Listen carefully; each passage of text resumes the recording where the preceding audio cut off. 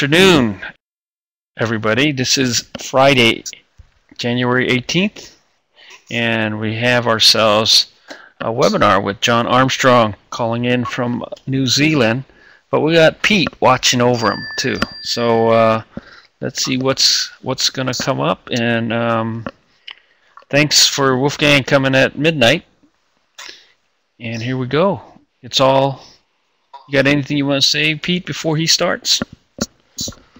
No, I'm I'm just around in case uh, any questions come up. This is John's show. Cool. Okay, so I'm gonna. Okay, so John, it's all yours. I'm gonna mute myself, and um, if you don't hear me right away, it's because I'm muted. Okay. Excellent. Hey, thank you very much for that intro, Arnold. And let me just give a bit of background as to why I'm here and uh, uh, what we're going through today. Um, basically, I'm a relatively new um, WinDev developer. I, am focusing on getting into the web and mobile space is the, is the area I think has got the future. Desktop, desktop apps are where I've been with Clarion, but um, I really do believe that the, the web is where we've got to be. I'm um, uh, also uh, wanting to make sure that I can deliver a web experience that is something that an ex-desktop user will feel comfortable with and is not too kludgy and clunky in the way that it operates. So with that in mind, I've been sort of struggling to get aspects of the UI working in a way that is um, like someone is perhaps expecting who's come from a desktop environment. And I was quite frustrated um, last week doing something really, really simple. All I wanted to do was have a browse. On that browse, I wanted to be able to um, drill down into a into another page. Imagine if you like your uh, QuickBooks, for example, you're looking at the statements. You can double click on a statement and it drills down into the invoices that make it up. You can drill down into the line items on the invoice, and um, it, it just seems something element elementary and simple that we should be able to do very easily in WebDev. Now, um, what I what I discovered was that uh, a wonderful technology called Ajax was getting in my way and doing all sorts of wacky things that I wasn't expecting. And um, I, I tried to find examples in the WinDev examples to give us, or WebDev examples to show us how to um, uh, get around it. There wasn't really anything that was suitable there. I put a plea out to the um, uh, to the Skype group after I'd sort of scoured the various um, uh, help help functions and just couldn't get it to work. Um, I was uh, buoyed by a comment from Fabrice, who seems to um, uh, have a handle on just about everything, and he said that um, there was a way of doing it. So, firstly, let me perhaps explain what the problem is. The problem is, in essence, that back in the old days um, when Google wasn't even heard of, when we were just dealing with a, a, a search engine like Alta Vista, if you guys remember, and soon after Al Gore took time out to invent the internet, everything was done with basically clicks and posts back to the server. So when you were browsing a web page, you'd click on a link on that web page, the server would deliver back to you a new rendition of that web page, and so on and so, so forth. So there was a round trip every time you clicked on something new um, on a page, it, it would be um, rendering a new page on the server. That was kind of fine for the old way the web used to work, but going forwards, we have things like the browsers in web dev where we've got a rich environment where we can sort and click on lines. And if we had to send a, um, a new page to the server every time we clicked on a new line, um, it, would be quite a heavyweight sort of an operation, be very clunky and slow. So the, the technology in the middle that gets everything working properly is called Ajax. Ajax um, is sending small packets of messages back and forth between the browser and the remote server and that's what's keeping um, the records in sync. What I found though, it was virtually impossible to do something simple like um, uh, drill down on a page from a uh, from from a browse. And perhaps to give you a quick example as to um, uh, how how it was difficult. If we if if I had a um, uh, a simple page here, we've got something browsing um, customer orders, and um, I wanted to view the product on a on a row. Let's just quickly run that in test mode, and um, we'll try and view the product that's in behind the lines on this order here. So we're just firing it up here, we've got the Heinz tomato sauce. Now, um, that is product ID 1908. If I click on um, view product, I can execute a procedure. It'll go away and view that product. Um, let's just have a quick look under that button to see what it's doing because I want to be able to double click on that line and drill down into it as opposed to having or or even just click on that line and drill down and see that same information about the Heinz tomato um, brick there. So so let's um, just see what's behind that button and see if we can put that button on the page here to watch it happening on the page. So um, back into WebDev example here, look behind the button and we see our code is executing a page display of another page called product details and it is passing as a parameter the unique ID of the um, uh, of the product line. So we'll just grab that bit of code there and we'll paste it under the the obvious place to put it would be to under the click of the button. Um, when we click the button, we'd like to draw down into that page. So we find we look through um, the various embed points and look to see whereabouts we click the button. Here we go. Clicking the button, we want to draw down into that page in the test and paste that code in. Um, everything sort of looks fine from here. We go to we go to run it, and um, it comes back with an error, a strange error, which um, the syntax is right. We knew it worked under the button, but it darn well won't work here um, on the page. And the problem here is simply that um, we're executing this bit of code on the browser. It's in the green section. The orange sections are, are executing code on the server the browser is executing the code here. And in essence, it won't allow us to do a page display, which is rather frustrating, but um, uh, we need to work a way around it to make it work. So I can't double click on my browse and open up the, um, uh, the detail for that product. So that, um, that seemed to be getting me nowhere. Um, having posted a message on the Skype group, um, I was very fortunate having had a frustrating many hours trying to figure out how to make it work. That um, Pete came back, followed through a bit of um, uh, a clue which we'd received from Fabrice that what we need to do is involve a timer in the process. We need to run a timer process on the browser. That timer process needs to do the clicking of that button that we did manually. So, um, in other words, we need to somehow pass from the line we're highlighting here um, the uh, the, the ID of the product and have it click the button for us. Now, um, it's, it seems a slightly convoluted way of doing things, but it's, but it, it's really in the end quite powerful. So we'll just have a quick look again at the, um, uh, at the page running and just review how it's, how it's working. Close the previous version. So the objective here is to pass that parameter there, the product ID, to this button when we click on a link on this page. So I'm going to turn the product ID into a link. We'll watch as we do that. And then we want that to click this button and execute um, uh, the instruction to open a new page to view the product. Just like if we clicked on here, we can see the acacia honey. There's the product information for it there.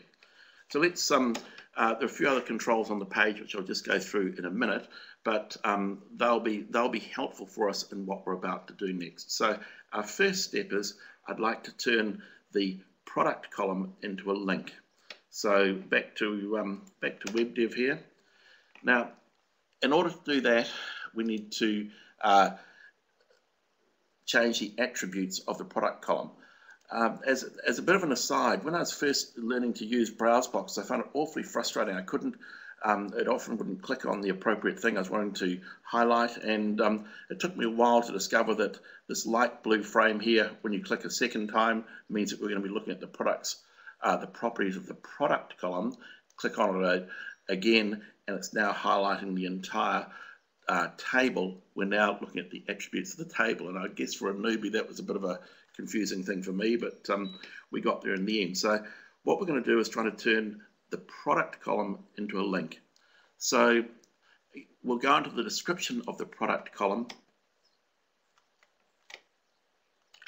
and we've got the various attributes here. This is this is this column here.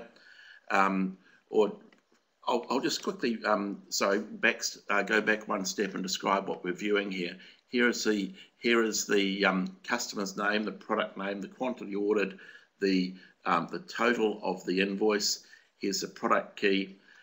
These are hidden columns out to the right here, which we're going to use later on. It's got the order ID um, is uh, basically hidden. We do that simply by making it visible or invisible. Um, we've got a um, a feed for the for the line number and also the customer ID. these we're going to be use, using just later on in the demo. Back to where we were, we're looking at the product name. We want to turn the product name into a link that we can view uh, by clicking on it. So if we go into the details tab here, there's a nice option here which is link the column. Um, linking the column uh, will have the following effect on it. We'll just quickly duck out and see the effect that that has it'll it'll show it as a as a clickable link. Oops, sorry, just stop the old test and it might go a bit better.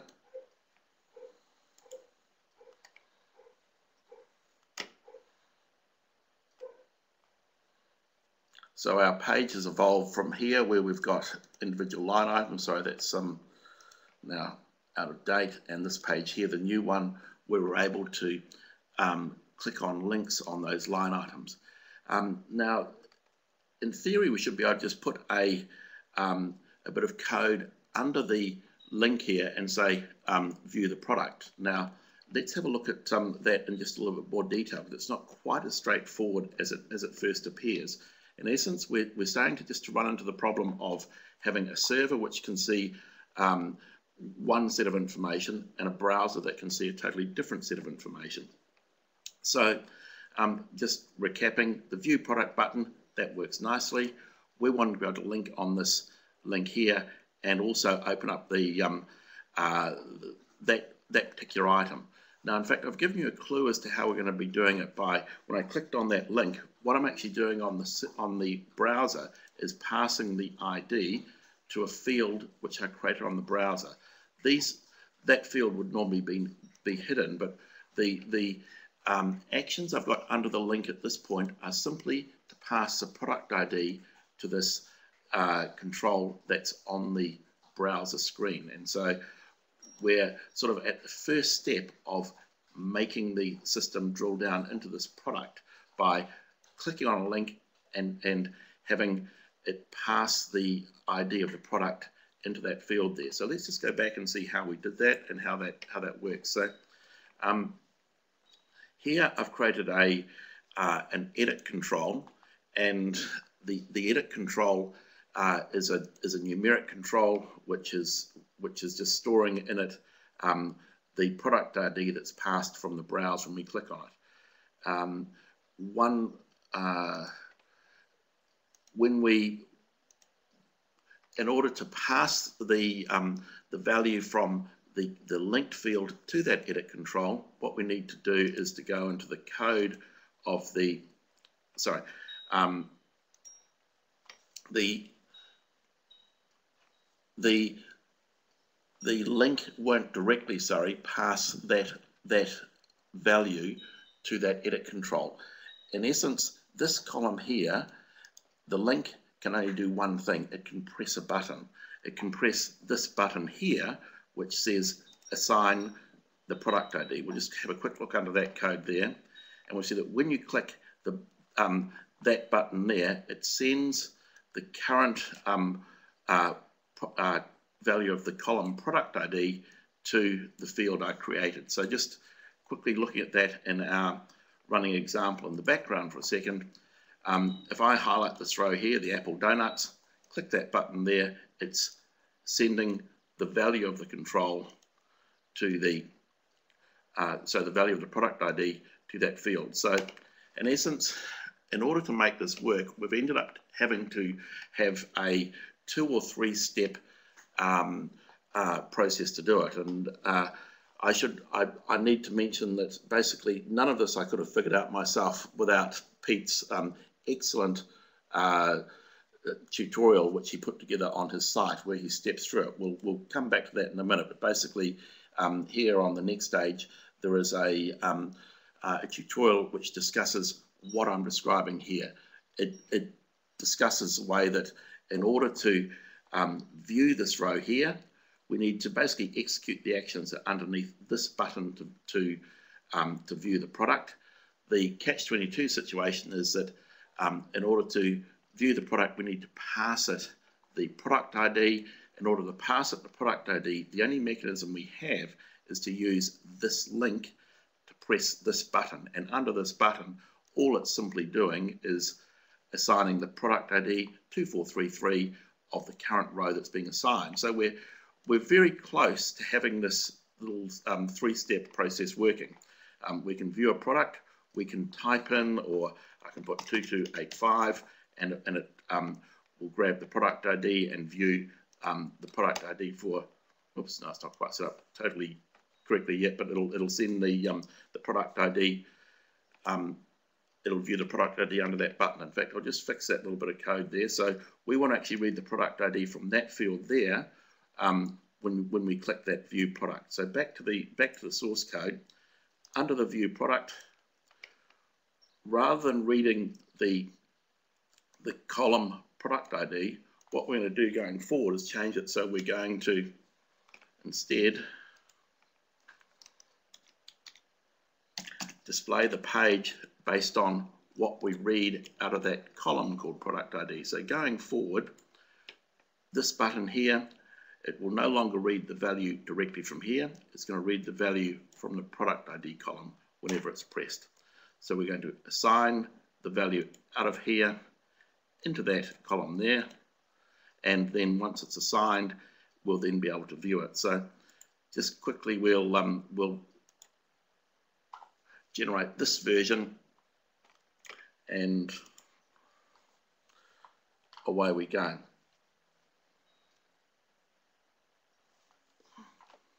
So now when we highlight a row, um, we want to be able to put in one, or, or, we'll, we'll try and view these mushrooms on the first line here. That's 2433 is their ID, 2433.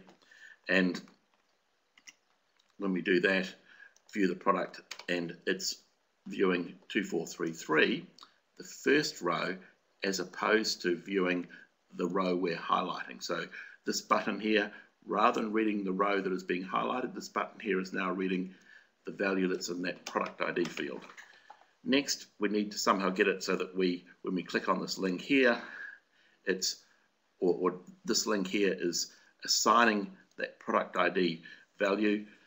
The final step is to somehow get the um, uh, the server to press that button. This is all happening, sorry, not the server, the browser. The browser needs to press that button there somehow when we when we click on a new line. So we've got the correct value now in our product ID, but it's got to do that final step, which is to press the button like I just clicked it there. So in order to do that, this is where the timer comes in. What we're going to do is um, a bit of tricky trickiness where we we, we create a timer on the page itself. And the timer is constantly looking to see, can I see a value of the product ID in this field here? If it can, it will press that button. It will basically execute a click of that button. If it's zero, it just goes back to sleep and goes around and does its um, work again. So uh, the final piece of the puzzle, if you like, is to take the um, uh, we're moving a, a value into this product ID field. We now need a timer to see, ah, the value has changed from 0 to 13513. I'm going to grab that value, click a button, and open a page just like that and view the product information for product 13513. So, in order to do that, it's actually relatively straightforward. Let's go back to our code again, and we'll look at the the page of the code, sorry, the code of the, the entire page. To do that, we'll just right click in the um, background of the page, go to the code of the page, and indeed, I've already got myself um, a, a, timer command which works um, just fine. Here it is here. Basically what this is saying is that in the code, we're going to start up a timer the, the first parameter is what is the name of the procedure that is going to uh, be executed and the that's the first parameter. The second parameter is how often should it run. I've got a value of 50 in there, which is um, 50 milliseconds or half a second. So every half second it's going to run. Later on, I'll, I'll ask a question of Pete. I noticed that Pete set his to a value of one, and I just wonder if that's going to have a effect on the um, on the client's browser because it's trying to do something every one one hundredth of a second. So um, just say that um, uh, as a thought for later on, Pete. I'm just curious as to whether a half a second is um, going to be less strain on the browser. But going back to it, what we're doing is we're saying we're going to run a timer, and it's going to run a uh, the timer every um, half a second is going to run this procedure called open links. If I just click on the um, F2 button, it comes down to what open links is going to do. And in essence, open links is, is, is checking all the time to see if our product ID is greater than zero.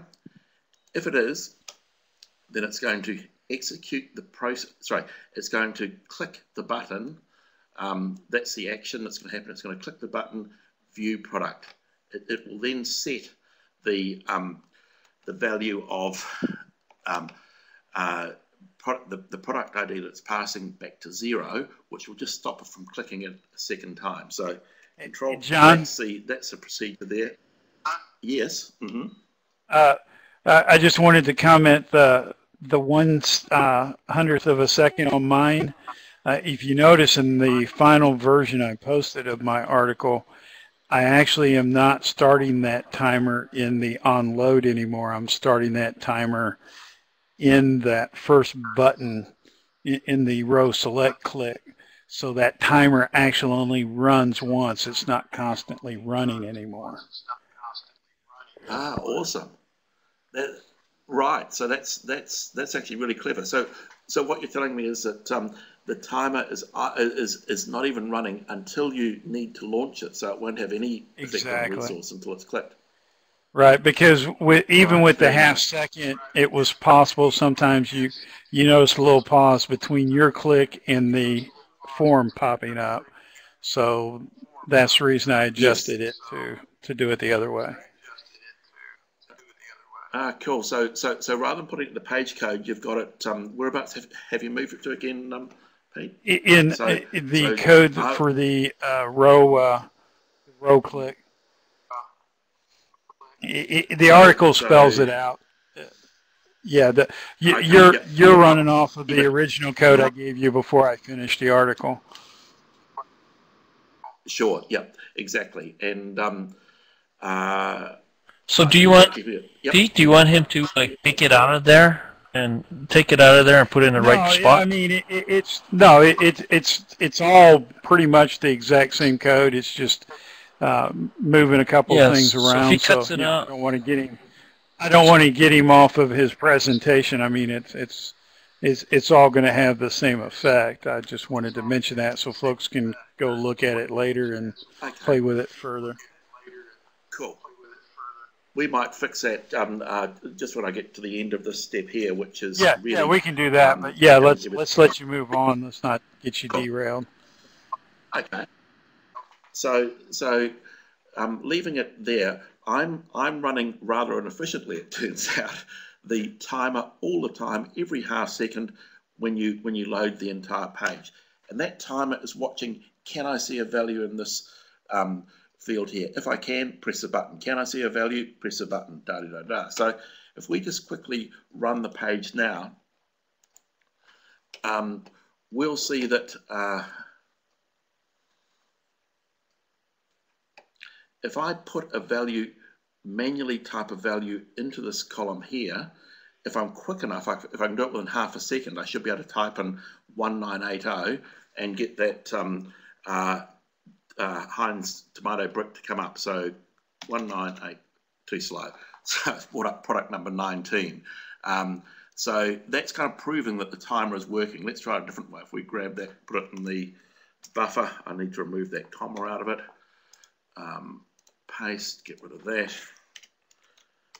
and copy that, paste it in here. As soon as I paste it, um, it ought to immediately pick up our Heinz tomato. So three, two, one, Control V, bang. We now have the um, uh, that coming up. So what we've what we've shown so far is that originally we started off viewing a product by basically the old school way of grabbing the product ID, sorry, grabbing the columns um, value of the product ID. That's not visible on the server, so we had to use this field here as a intermediate container to hold the value of that line.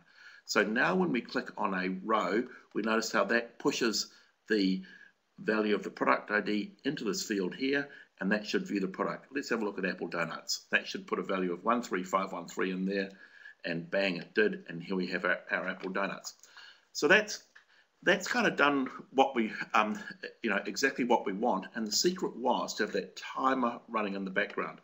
All of these um, columns here, of course, sorry, these these controls here, the the two buttons and the field in the middle, we would um, make them hidden, which is simple enough. Just turn on the um, and, uh, turn off the visible property, as Pete shows in his article there, and um, that way it it would be a seamless click through. Now. Uh, this seems like a lot of hoops to jump through just to just to open a page. You might you know want to know why. A classic example of why it might be useful to have many linked um, uh, hyperlinks on a browse like this would be perhaps this this example here. I've got another um, uh, product here, uh, sorry, version here, which is slightly different. What I what I'm doing in this screen here, it's the same as what we saw before, but instead i have added the ability to click on the customer name so you can look up the customer details as well. So, oops, daisy.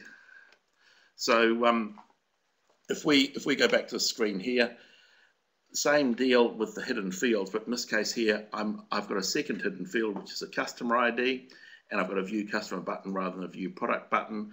Um, if we uh, look in the um, the procedures. Now the procedure to open the links, it looks to see if the product ID is greater than zero, it'll then click the product button. If it sees that the customer ID is greater than zero, it'll click the, the customer button. And just to quickly view sort of what that looks like, uh, it'll be as you're sort of expecting. And bang, you've now got a hyperlink so you can look up the customer information or you can look up the um, uh, uh, or you can look up the product information off the one browse. So we've got this drill down starting to get a bit like that QuickBooks effect that I'm after, where we can um, have lots of uh, functionality off a simple browse. And um, uh, yeah, there is actually one other thing I've, I've um, learned since from a New Zealand develop, developer, Marcel, who gave me a really good way of actually um, doing the drill down without having to do this um, this linking effect. This linking effect is great, so you can have many different pages coming off one. But Marcel showed me a nice little trick which allows you to do this drill down effect without actually having to use these links. So we'll just quickly have a look at um, uh, what Marcel showed us. Um, what I've got is another uh, table which I've called order summary. The order summary has got the various orders in it. This is the order number five, the one we've been looking at. And I've got a button on this page. When you press button number five, sorry, that button there, it will display the page with the um, uh, the page we were just viewing with the order, order ID in it. And in fact, we'll just quickly go into that just to show you what I mean. It's easiest to see it rather than um, rather than uh, talking about it. So as we highlight a row, if I click this button, I can draw down into this order here. Bang, I'm now viewing that order we're looking at. I can um, click on the acacia honey. We're viewing this page here, go back to the order, um, go back to the previous page, etc., etc. You can look in the other order, and that's pretty nice. We're able to um, uh, go ahead and work off that. However, again, it'd be nice if we could just double click on those rows to make it work. So let me show you the little trick that Marcel showed me. Um, back to our order summary page here, this one here. Um, in essence, what he said is, why don't you just put a double click on it, which uh, sounded like a great idea. So um, what he showed me was down here, or, or sorry, normally, uh, do you want to continue? Yes. Normally, you don't see the action when you look at the code for a row. I, I jumped in there rather quickly. What I'm doing is I'm going right click, view the code of the of the table. Normally you don't see an action for double click. However, your friends down here, this is where you've got the ability to do um, various things. Here you can put a an event when you click the mouse down button. Here you can add uh, a section of code for what happens when you double click on a row. So if I click here, it opens up a new section for, um, oops, is, uh, it's the wrong one, I think it's this one here, double click. What to do on the browser when someone double clicks it. And in essence, um, it's as simple as um, uh, issuing the page display. I don't know the magic behind it, for, but for some reason in this context here, the page display um, uh, seems to work without needing to do, or I can read the column value of my column and it seems to work. So um, let's just run that bit of code. What we're saying is we should be able to double click on that row and open up the order as opposed to having to press that button. So um, uh, actually no, I've gone and um, lead you slightly astray there. It was um, uh, it wasn't that it was the execute sorry, execute process. Control name is going to be my um, the button I put on the page, and the and we want it to click that button. My apologies there. So um, when you double click that that row, it will execute a process. In this case here, a very badly named no name button, which is this guy here. When I double click, I'm going to press that. So let's just see if um, that works for us. Okay, so double click on that row there and bang, we're in there. So there you can see we're able to um, double click on something and it will uh, do the same thing we're doing with these um, uh, links here. I guess the advantage of the link is that you can have many different actions happening on the on the table. You can drill down into all sorts of things, and in fact, um, uh, it, it, kind of just adds a whole bunch more functionality. I I needed this sort of functionality for an application which I'm working on at present, or we, are rolling out at the moment. Um, it's for a large health provider here in um, New Zealand. This is the this is the um, interface for it. I can show you um, at an interface level. Unfortunately, it's got um, patient information within it, so we can't drill down too far. But basically, this is the the front page for a, um, a page that manages healthcare services in New Zealand. Um, uh, and it's, it's coordinating the, the, the, the, costs that are being submitted from um, dozens of healthcare providers around the country for reimbursement. Um, it's, as you can see, it's got a Windows Metro look and uh, all kudos to uh, Victoria and her wonderful webinar where she showed us how to make a make a nice interface like this. Throughout the application, it is a whole bunch of browsers where you're drilling down into um, claim forms, you're drilling upwards into batches that are being submitted, you're um, clicking throughout browsers to make it work. And the ability to have links means that I can write a much simpler interface where um, uh, you can quickly jump from, from one area to another.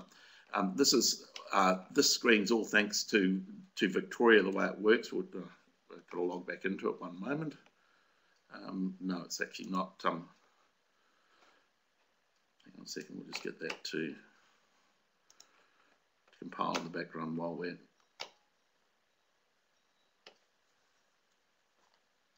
open second version. Uh, I'll, I'll, just give you a quick flavour as the sort of things that are that are in there rather than um, too much detail.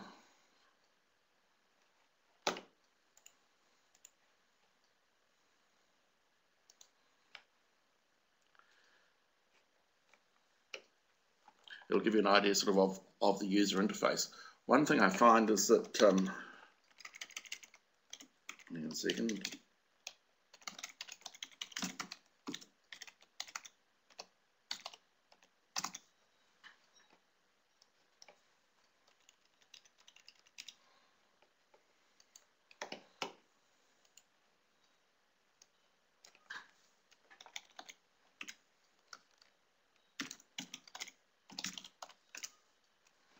Right.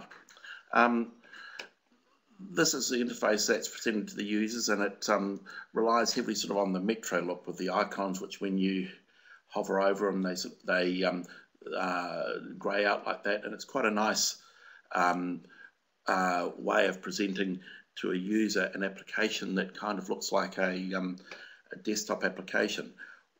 Uh, within it, like I said, there are there are lots of browsers for the various claims and um, activities that are going on, and it, and it, really does make life a lot easier um, to uh, to work rather than having to create a whole of individual screens. I can have drill downs from a customer or, or sorry, a patient uh, to, to open up the history for that patient. Within the history for that patient, I can open up the um, I can list the various claims. We can drill down into those claims and see what sort of activity um, has gone on against them. So um, the ability to use the, the drill down like in QuickBooks really does make my life a bit easier.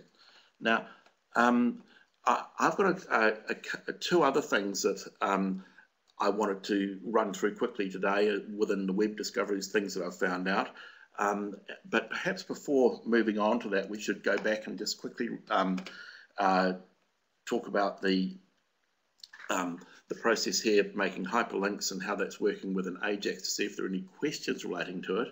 Once we've done that, perhaps I might give you a, um, a 30 or, or, a one minute uh, overview of a, of a discovery, I discovery I made to, to get icons um, really easily into um, WinDev or WebDev and also uh, just one other small tip. So um, getting back to what we were um, demoing with the uh, hyperlinks coming off Ajax tables. Any any questions or comments? Or um, I'll perhaps prefix that by saying I've kind of rushed through it because I'm uh, wanting to more give an overview rather than the detail. Pete has done a uh, superb job of doing a well documented step by step as to how to do this, and really. Um, I'm the enthusiastic beneficiary of his work and really just wanted to show off um, uh, what it's enabled me to do. So um, on that, any questions about what we've done, how we're doing it, why we're doing it that way? Um, did you see Alan's question? He says, no, uh, okay, he said he's he's asking, how are you determining which column is being clicked on? Okay, um, literally, it's um, yeah that that is a, a good question, and it needs a um, uh, a little bit of explanation by looking in the code here. In essence, when I when I click on the product column, first up um, you see it's highlighting the entire table. Second click, I'm now highlighting the column here. That means whatever we're doing, we're looking at the properties of the column. When I right click on this column, I go into the description of the column and we want this column to do something specific. So within this, the description, because we've turned on that linking action, one really important thing I'd forgotten to show you was the linking action, then what is the action it's going to carry out? Now, if I turn this off, you see that grays out this area down here. I turn that on and you can say, what is it you would like that to do? If I drop down this list here, I can um, make it so it, it, it, does various things. It can select around the table or I can say, click the product ID button. And so that's basically how we do it. If we go back to that example I had where we've got um, here we've got view product and view customer. Click here on the uh, to get the attributes of the customer column. Go into the description of it, and you'll see that um, it will uh, it will be saying click the set um, customer ID button, um, and uh, hang on a second, back here, the the one for the product is um, clicking the assign the product ID. The one for the customer is going to set the customer ID. So, so literally once you turn on this link, you can then tell it which button to press. The, your, your only options really, um, uh, sorry, your, your, your main options having made something a linkable column is to tell it to carry out an action on a button. Does that explain your, your um, question for you, Alan?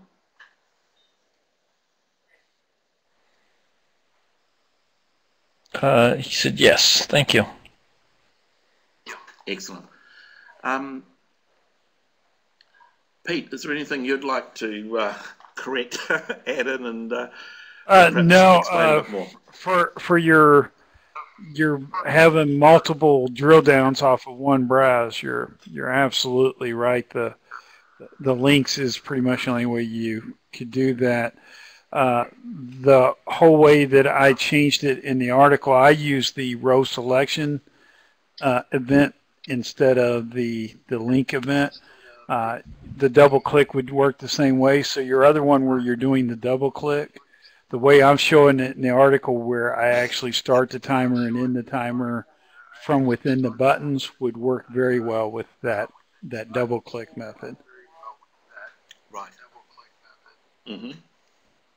So so um, so the links take you to the detail of the product and the and the customer, but a double click takes you into can take you into the details itself, right? The record itself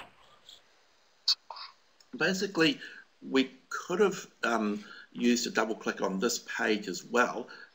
It's really nothing to do with whether it was a link or a double click. You can put the target under a double click as exactly the same thing as the target under a link. In fact, um, in theory, I could modify this table here to be really confusing, or, or shouldn't be too confusing. We could put a double click on the on the general table so that opened up the um, uh, so so that it, it viewed the customer as well. So um, or, or the or the product. So well, I would expect it wouldn't. Uh, um, John, I, I would have expected it not to go to the product or to the name, but to the actual transaction record on a double click. Oh, okay, sure. Um, excellent. You're talking from a yes, from a from an intuitive user interface point of view. You're quite correct um, that that you want to do what is natural, what the user is expecting to see. I guess my answer was really just to say, as a programmer, you can send the user in whatever direction you like. Um, in fact, on yeah, you can write as bad of an interface um, as you want. yeah, on the um, uh, on this program here, um, one of the changes I want to make is to have it so that it doesn't actually drill down when you double click on anything.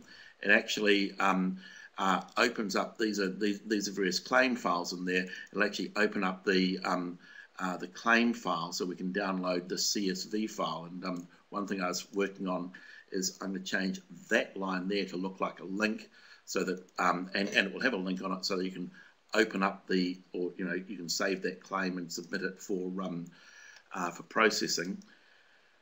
Um, and that's uh, an example of where your your link might do something totally different from opening a page. It could be processing a claim or doing something quite different. So um, yeah. Nice. Okay. Any other questions? Okay, give us your other hints, man. Okay. Hey, um, in in that uh, applications I, might, I, I made, one of the really important things I reckon is that um, if your application looks good, that may be average, your your user will think it's great. If your application is beautifully crafted from a programming perspective and it doesn't look so flash, then your your user won't rate it that highly. It's it's it's unfair, but um, that's how it works. The, um, we're competing against the best design minds of Apple, which is in, um, always increasing the um, expectation of the consumer. So the product you're delivering needs to not only work correctly, it needs to work well.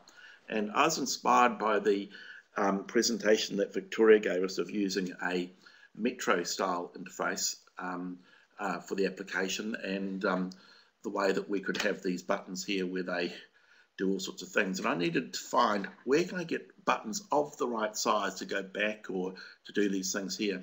And um, my wife actually found this nice program here called Metro Studio. And I'd, I'd urge um, you, you might like to look at this. I don't want to sort of run an ad for something totally different, but this is free. This product here, um, they give away free. You need an icon for something, you'll find it in here. Um, I don't know, you start typing what do you yeah, want Yeah, it's really nice. Lots of stuff. Yeah. And you can you can just find an icon that that user log on icon, for example, I used that um, back here, or sorry, they, they're a slightly different one, but um, you can see the effect, how it's sort of, uh, you, you get the hover over effect. And I'd, um, uh, or if you like, I can give you a quick demo as to how to make a nice looking icon like in here, put it into your WinDev or WebDev application um, with the with the fading out um, look and all the rest of it in a couple of seconds with this um, uh, free product called Metro Studio from Syncfusion. So um, do you want me to uh, run into how that uh, might might be done? Sure, yep. be great. So, so we want to put a put a button on here to, to do something. It might be to send a fax or whatever. So, um, grab grab your button control and put your button on. Now, um, let's say we wanted to send send a fax, for example. I go into Syncfusion and look up. Actually, fax is not a good idea, is it? That's all. That's all gone. We'll look up something in the mail arena. So, searching for mail, and there's a whole bunch of mail you can uh, mail options for sending for adding or, or whatever. Um, let's grab this guy here, send mail. So in order to put that icon into your application, you do this. You click on the edit button and it brings up um, the icon in different sizes. Now, one thing I find with icons, you never find the icon in the correct size for what you want. Whereas here, you just call it up, you make a big one for the top right hand corner of your splash page, you make a little teeny one for your um, uh, in line with your browse. I'm going to make a 48 by 48 to go on a button. And it's as, it's as simple as I can just export that right now and I'll have a 48 by 48 button.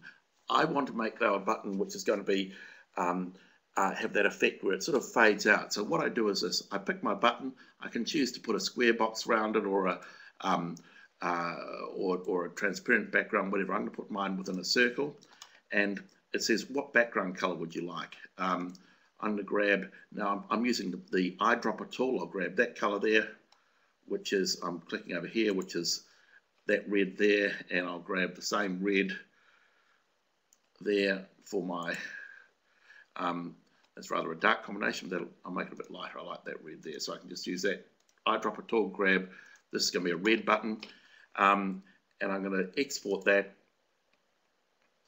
and I've got an images folder underneath my Hawaii directory, which I'm just going to put it in.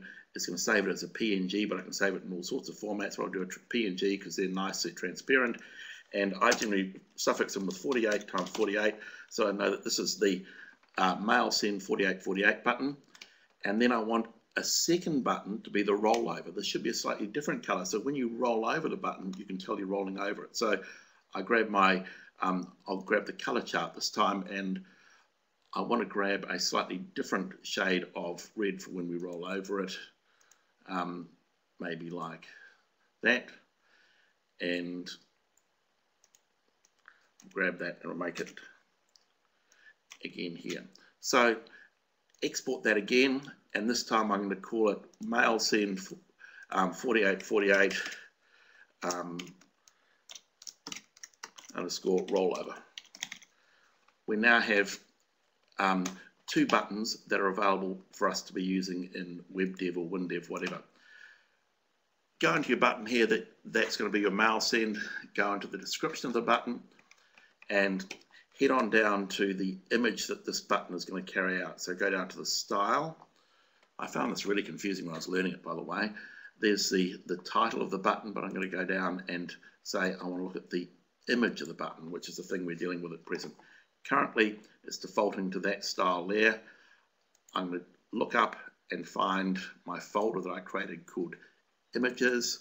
I'll grab my mouse end, stick that on, and unclick this so we only see one button rather than three of them. Grab my, go back to my images folder. Oops, it daisy. Um, up one and down into images and I've now got a rollover version of it, which is um, the main one and the rollover version. It's got a bit of text in the middle. I'll go into general and I'll take that out. I'll put a help note on there so it just appears as a tooltip. Um, um, send email and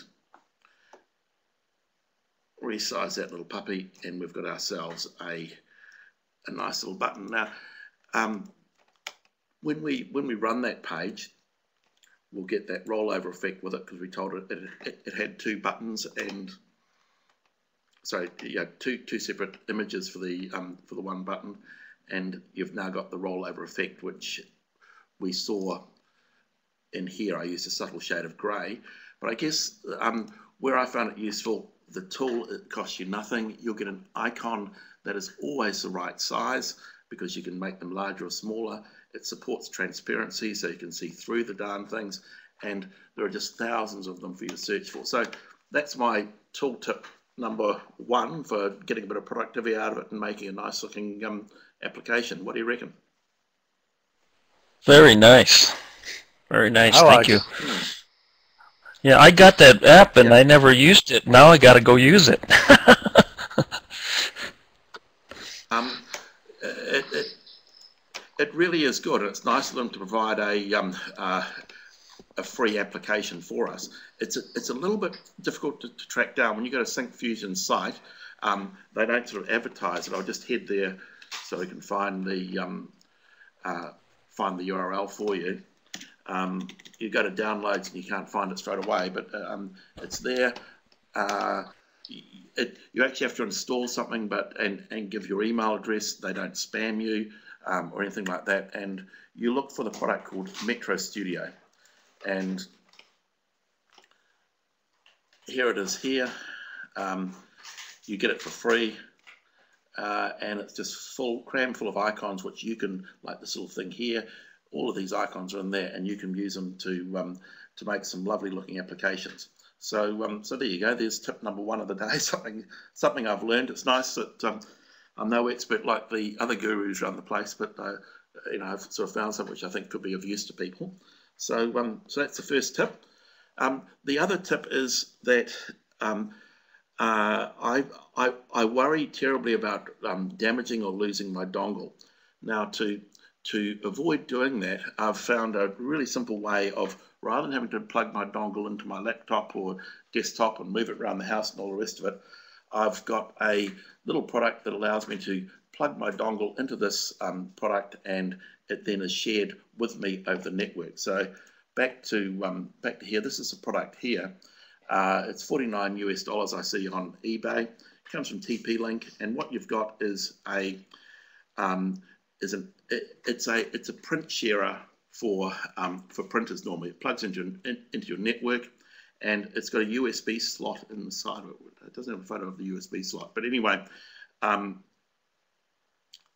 uh, when you when, you plug this into the network, you plug your plug your USB. Oh, here it is. Here, sorry. Uh, no, that's not going to show it. Um, uh, it plugs into your wired network. It's got a USB slot in it, which is used for sharing um, printers or cameras or whatever. It just happens to work beautifully with the WinDev dongles as well. Now, um, I I then have down the bottom bottom corner of my screen this uh, little um, screen here, which shows me I'm currently connected to the dongle for WebDev.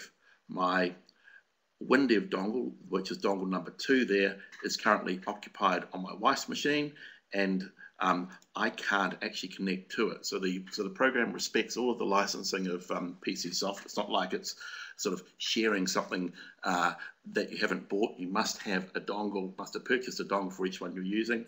And this is my this is dongle number four, which is on my little four four port um, sharing hub, and that uh, I can uh, grab that dongle, double click on it, and it's now loading that up, and it's now connected to my PC, I can now launch quite happily into um, uh, WinDev Mobile and it will um, be there. I disconnect the device and it's now available on other machines. I'll come back in a second. This one here, it's um, being run on my wife's machine. I can request that she, um, uh, this will ask her to disconnect it and it'll pop up a message on her machine if I wanted to. But it means really that the, the dongles stay safe and sound um, on the network never need to be plugged and unplugged. And uh, it's just a really nice little solution that means that they're safe. They're not going to get stolen. They're not going to get broken. Yeah. So you have a hub plugged into that device? Yeah, that um, that's got an Ethernet cable which just goes into the hub, and it's got on you, you can't see it, but on the other side there, it's got a USB hub, a four-port USB. Okay, so there are four which, um, USB ports on it. Okay.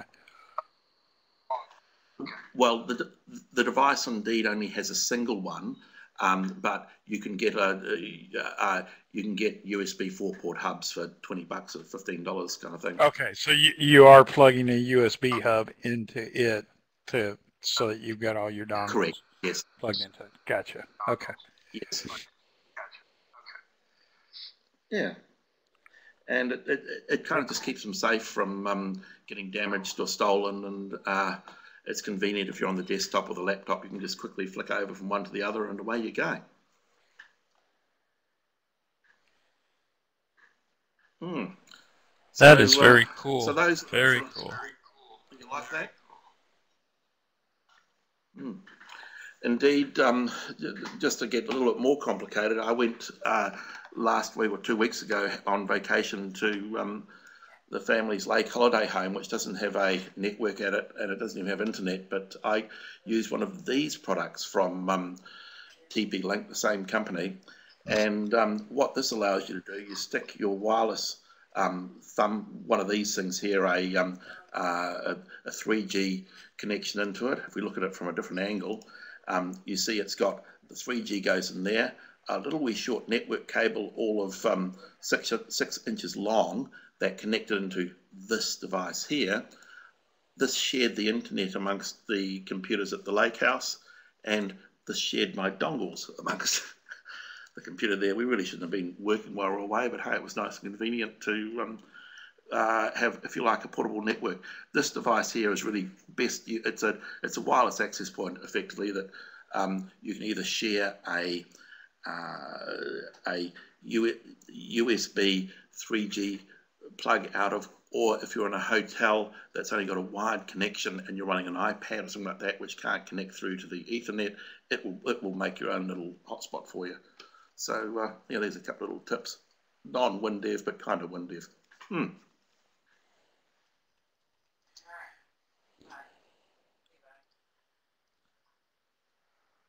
What else can we help you guys with today?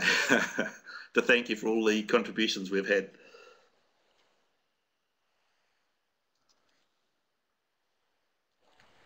Nice, very nice. Um, Wolfgang mentioned a USB redirector too. I wonder if he wants to say something about that, or Well, that's a great uh, little Wolfgang.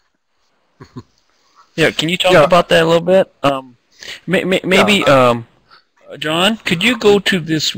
Uh, can you click on the go switch over to your other screen and click on that link that he's showing? Just go. To, Oh, yeah. Or- just grabbed off Skype. Sorry, I've been. Um, uh, oh, sorry. Uh, I, I went to the Skype screen, wrong one. You're talking about. Yeah, in the middle there. Yeah, go to that. Go, go to his uh, chat area up a little bit. No, the, the one on the bottom. The one on the bottom. No, the chat area. Yeah, go up a little bit. Yeah. Ah, right. I see what. I see Yep, what- right there. Just click on that link. Yeah.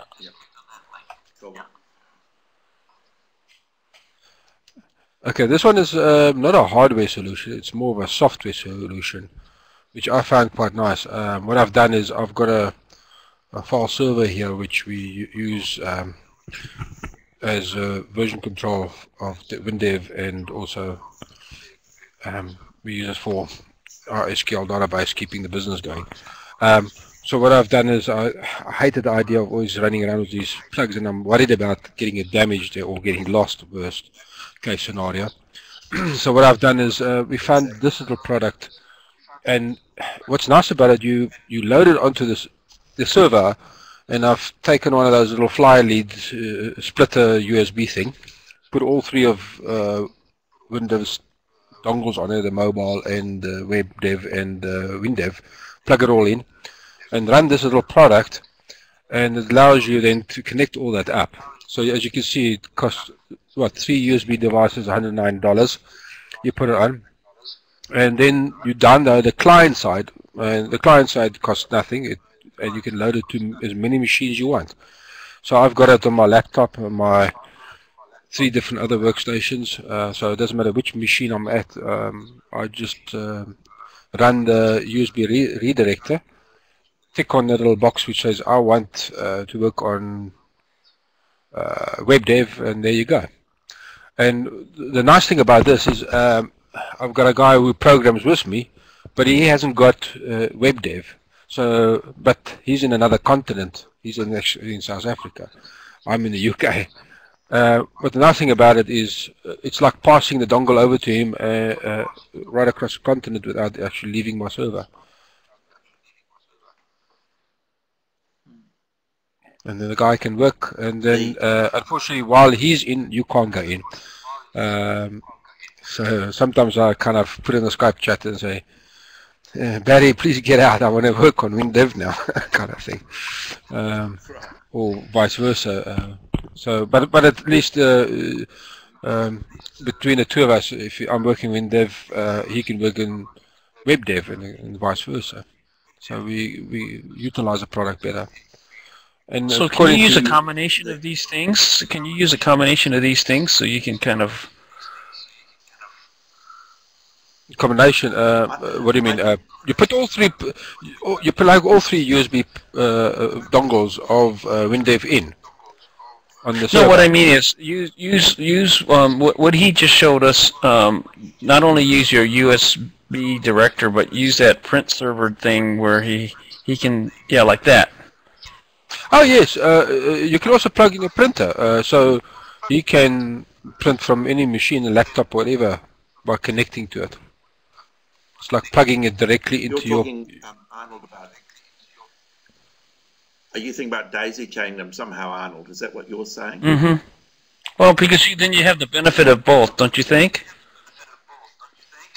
Well, they're both doing the same thing, Arnold. It's just one's local network, one is one is over an extended network. Uh, Arnold, look at it this way. It's, it's, it's like as if you got a virtual plug. It's like virtually plugging it out on whatever other machine you've got it in and plugging into yours. So if it's a printer or a hard drive or if it's the dongle from um, PCSoft, uh, it's, you plug it in and out as you need it. Huh. Nice. As a matter of fact, we've got a hard drive also on the system, which is a USB hard drive on the server, uh, where we um, synchronize certain documents which people work on uh, the user manuals of our product. Um, so what happens is uh, the guy can, it's like plugging it out from my server and plugging it locally in the local drive. The only difference is it's going through the internet. For what it's worth, the hardware solution I'm using. Yeah. I was, I was just going to say the hardware solution, the one that's um, uh, on the hard print server, that yes. is, that is not routable. It's got um, internet protocols that, that basically pick it up no matter where it is on your local network. Yeah, but it's, it's just um, designed for local uh, network. So, so, it's a no-brainer. Yeah, it just it just works. Yeah. But it, it's um it's not routable onto the internet or anything like that. So it's locally within your network. Oh, well, that's it's a, it's a, just to mention uh, really while you're saying it. Yeah, while you're saying that, I just remembered something. You you kind of need a fixed IP address uh, on the server if you're going via the internet. Otherwise, you can't find it. Mm. If your uh, internet uh, service provider changes your IP. Yeah, you could probably get around with that if you used, uh, you know, one of the like dynamic DNS. Oh yes, uh, yes, yes, yes. You can do that. It must probably work. But uh, like what I say, uh, what I found that I use it uh, extensively because it's so handy. Um, what happens is also uh, because of the documents is on the one uh, drive, USB drive. Um, we work on it, and then uh, it doesn't matter where you are, you book it out, and then you book it back in again on that drive, and anybody else uh, can get it. The only difference is if it's locally plugged into your laptop or your hard drive into your local PC, it's very fast, obviously. But if you're going through the internet and using only Edge or 3G, it's slightly so, slower, but uh, but it still works.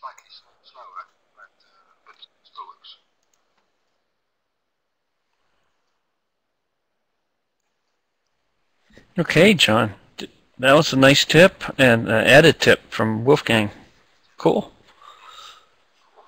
Cool. Well, you got a lot of tabs going on up there on And- your browser. Yeah. Alrighty. So, so, so, th- did you have something else you wanted to share, or? Um, No, that's basically um, all I've got uh, at. Well, at that's great. point. So um, yeah, just chipping away, and yeah, I'm pleased that there's something I can give back. it's wonderful. Appreciate it, and uh, appreciate everybody coming on this weekendish time time frame. Thank you, John. Hey, and if I could just put in a, can I just put in a final plug for um, the contribution of everybody else on the team, especially in this instance here. I'm really repackaging what um, Pete has discovered. So uh, you know, to, to get the detail in behind what I've done, go to go to Pete's blog here. But uh, it's nice to be able to um, you know give a few different perspectives on it. I must Very say nice. that's a fantastic blog. Well, he's just a blogger. He's just a blogger. Now I can blame him for most evenings not going to sleep early. I have nothing better to do. It's not like I have bills to pay or anything. No, My not at all. my tax care partners have uh, have formally filed a missing persons report for me. So this weekend you probably Hey. won't hear much from me. Do, do you want to talk about those uh, three uh, open source um, things that you posted recently? Well, it's actually quite a bit uh, more than that. All the all of my classes are are now up there.